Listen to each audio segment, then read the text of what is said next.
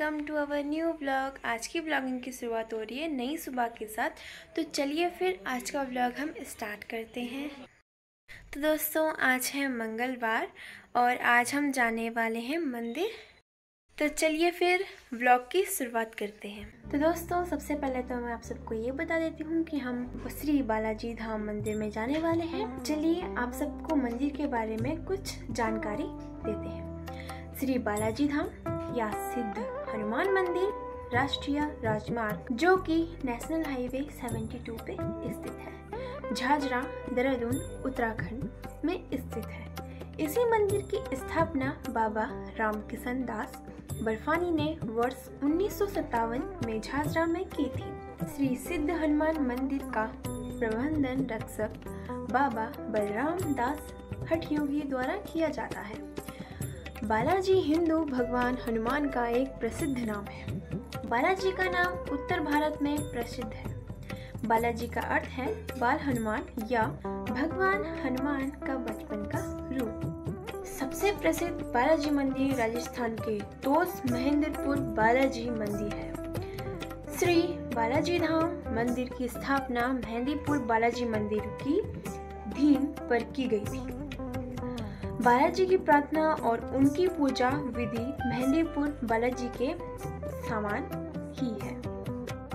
श्री बालाजी धाम को हनुमान जी का सिद्ध पीठ भी माना जाता है।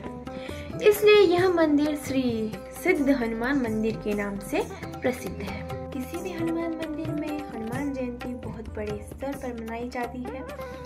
आप यहाँ हनुमान जयंती के दौरान आयोजित होने वाली कई गतिविधियों को भी देख सकते हैं। भंडारे का आयोजन भी बड़े स्तर पर किया जाता है। रामनवमी दीपावली, दशहरा भी यहाँ अच्छे स्तर पर मनाया जाता है। तो चलिए, बहुत कुछ जान लिया है। बालाजी धाम मंदिर के बारे में सुविधाएँ भी जान लेते हैं। श्री सिद्ध हनुमान मंदिर में सभी व्यक्तियों के लिए पर्याप्त जगह है। और सभी सुविधाएँ मौजूद हैं। बालाजी धाम प्रतिदिन अपने भक्तों के लिए सुविधाओं में वृद्धि करता है और मंदिर को अच्छा और सुंदर बनाता है। तो चलिए, अब चलते हैं सुविधाओं के ऊपर।